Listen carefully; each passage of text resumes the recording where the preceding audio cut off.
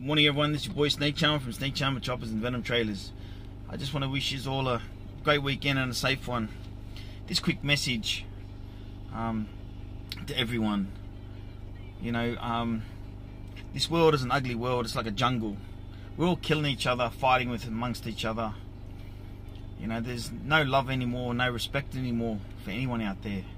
I know this is not going. This message is not going to help the world or help anyone, but it's just a message that I felt like saying that you know we should all show respect to each other and, and, and support each other because unfortunately the government is winning.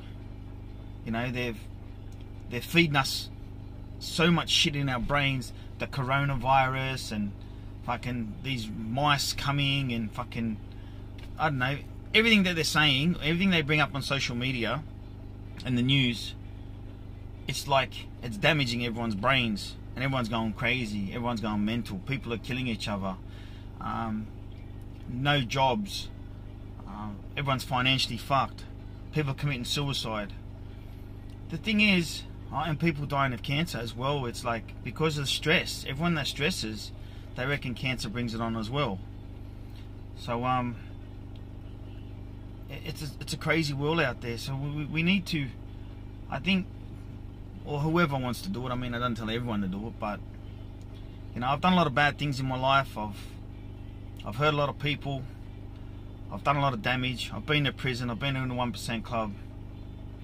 You know, I've done a, a lot, a lot of bad things in my life. But now I'm not saying that I'm turning into a priest or anything. But I'm not preaching to anyone. But honestly, some people that preach don't actually go out and do things. That's what gives me the shits. They all preach and preach and preach, but no one actually goes out and does it. You know, I'm preaching in a different way where I show my love and support to every single person that I can or help. You know, um,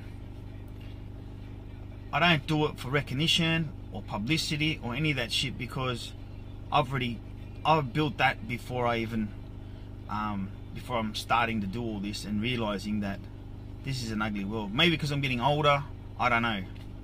But um, I don't know, man. I don't know. I don't know what to say. It's these last two, well, I don't know, weeks or three weeks. I've been so depressed. It's like, it's like, I feel not motivated. I'm maybe I'm worn out. Maybe I'm drained because I have my hiring business, my trailer business, my chopper business.